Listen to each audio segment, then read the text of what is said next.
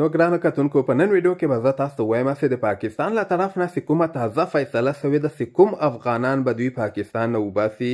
او کوم افغانان به دوی نه وباسي دغه باره کې معلومات در سره شریکوم ګوره دلته خبره واضحه ده دوی فیصله کړې ده څو میاشتې مخکې مطلب فیصله وکړل چې موږ به هغه افغانان پاکستان کې نه پرېږدو چې چا سره کارډونه نه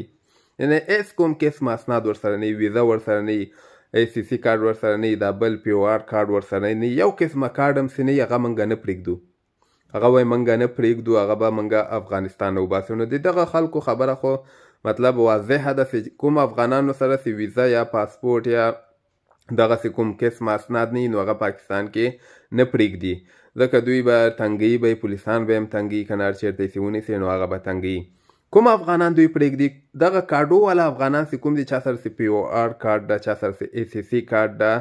دوی مطلب پولیسان تنګي خو اهلان کې دغه د دې په هکله باندې دوی اوسه پورې فیصله نه ده اخیستلې دوه میاشتې وروسته د پاکستان کې الیکشن هم دی هلته الیکشن نه وروسته به بیا د دغه افغانانو سرنوشت معلومیږي حالانکه دوی وایي چې موږ یو هم نه پرېږدو خو دا خبره دوی هسې کوي دا قانوني افغانان چې کوم په پاکستان کې اوسیږي که نه دوی ته به هېڅ کوم قسمه مشکل نه پېښ کېږي داسې ښکارېږي چې دوی به دغه دغو ته به وخت زیات کړي که نه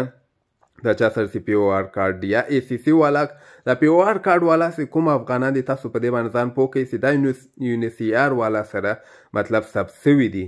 یونیسیار والا سره سب سوي دي د دغه پیسې مطلب پاکستان ته ورکول کیږي دا ای سی سی کارډو والا سی کوم دي دا بیا پاکستان خپل ثبت کړي دي د دوی پیسې نه ورکول کیږي نو دغه ای سی سی والا که زیات زور پاکستان وای نو ای سی سی کارډو والا کېدای سي افغانستان ته دی ولیږي خو هغه